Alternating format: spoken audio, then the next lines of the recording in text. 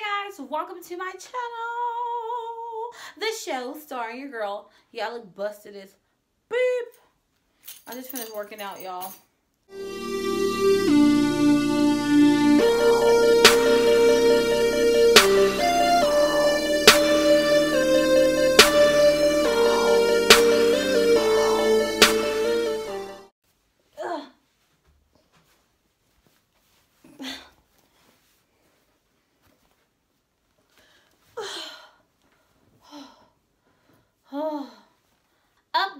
So as you can tell by the title of this video before i hop into this video make sure you guys go follow me on all my social media. You can find me at she wants stormy on instagram and snapchat. Follow your girl. Show me some love. And yeah. So i haven't been on in a week y'all. My schedule has been jam-packed crazy okay? Crazy.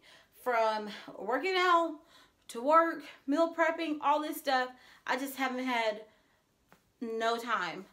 So I wanted to make this video to let you guys know if you're on a journey to being a healthier you or whatever the case may be, cut yourself a break, okay? Just cut yourself a break. Life happens and if you are a compulsive or an addicted eater, I don't know if that's how you, if you're a person who's addicted to food or an emotional eater, during the process of getting healthy, you're going to have times where your emotional state hikes or declines or whatever the case may be you're gonna you're going through a roller coaster. Not only because you're losing weight or you're trying to get healthier but also because life happens and life throws us curveballs all the time. So you are going to face some type of difficulty. Last week i cheated on my diet. I wanted to get a kit kat I was like, I'm going to get a Kit Kat. It's Monday. I weighed in. I lost four pounds. By the way, here's the picture. Yay! Um, I was like, I'm going to just have a Kit Kat. And I went to the store to get a, Kit Kat, a Kit Kat. And they only had a king size Kit Kat. So I was like, okay, I'll get the Kit Kat. But I'm only going to eat the eat the regular four size. The four squares. And then, yeah, save the other four for somebody else. I sat there watching TV, just eating, eating, ate all eight of the slices of Kit Kat, which is my favorite candy, by the way. And they're 210 calories per square. So per, not square, per rectangle. Each little bar is 210 calories. So I calculated that I had 1,600, more than 1,600 calories in one Kit Kat bar. And for a second, I just cried how can I be so addicted to food that it controls my life and I sit there and I eat a whole Kit Kat that's for two people or for how many ever people and I can't control myself, you know, and it made me like really sad.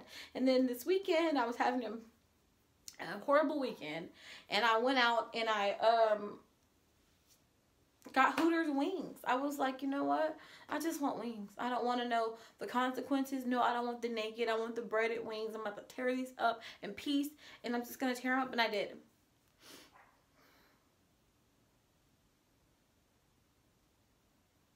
Y'all, just remember everything is a process. You can get off track a little bit, but as long as you find yourself. So, weigh in this week, I lost 3 eight pounds. So I'm total down 7.6 pounds. 7.6 pounds in two weeks. I feel better. I feel lighter. I look better. This area feels like I can breathe better. Um, of course, you're going to beat yourself up a little bit because you're like, oh, I thought I was going to be 10 pounds down. I thought I was going to be already 20 pounds down. I thought I was going to be here, there, whatever the case may be but slow and steady sometimes is the way to go. So you know what? I'm just thankful for the small victories because small victories equals big wins, right? So going into week three, I'm praying that I will be in the, I'm praying I will be down 11 pounds uh, total by the end of week three. I told you this guy's a 20 pound challenge, so I have six weeks to lose 20 pounds. So as long as I stay with the diet, stay with the program, and keep making these workouts, I should be fine. I do want to apologize, y'all, about me not making a video. Uh, this week, I'm praying I can get more content out.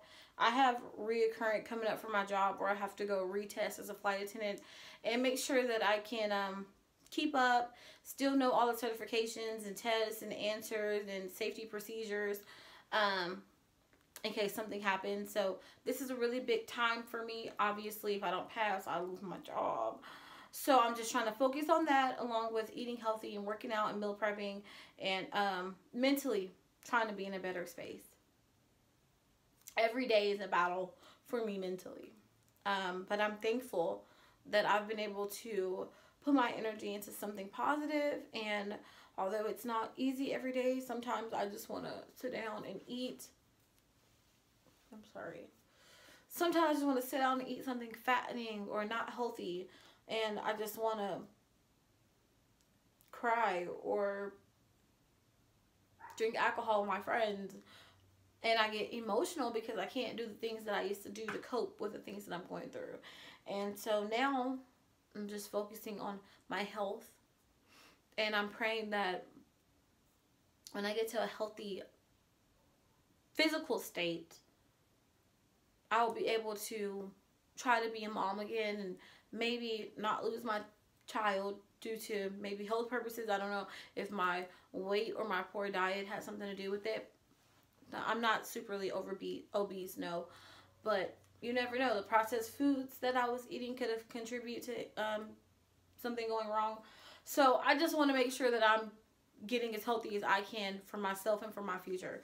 So that's what I'm doing, you guys. Um, hope you enjoyed this really short video. I'm going to try my hardest to squeeze out some more content this week. I know I'm not obligated to do these things, but this is something that I'm passionate about. I'm so passionate about YouTube. I always have been from the day that I, I don't even know I'm about to get emotional. Last emotional evening. From the day that I started YouTube, I I fell in love with being on YouTube and this is really one of my big passions that I haven't been able to give the energy that it deserves and the attention that it deserves because of all the chaoticness that's going on in my life. And it frustrates me because I'm such a disciplined person and in the past I was so I was able to be so much more disciplined than I am now that I beat myself up like why can't I do this or get this done or do this or why today I just want to lay in the bed I don't want to do anything. I don't want to work. I don't want to work on my craft. I don't want to just soaking in this negative space. It has been a long year and a half for me, guys. Like a really long year and a half. And I know we all go through trials and tribulations, so this is not a pity party, and this definitely is not me asking for sympathy. I'm just saying it has been a really long year and a half, and I'm still getting to know who I am and the things that I go through.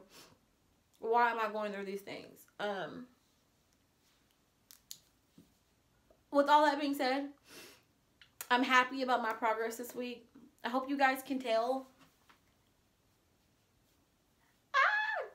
Check your girl out. Mm, mm, mm.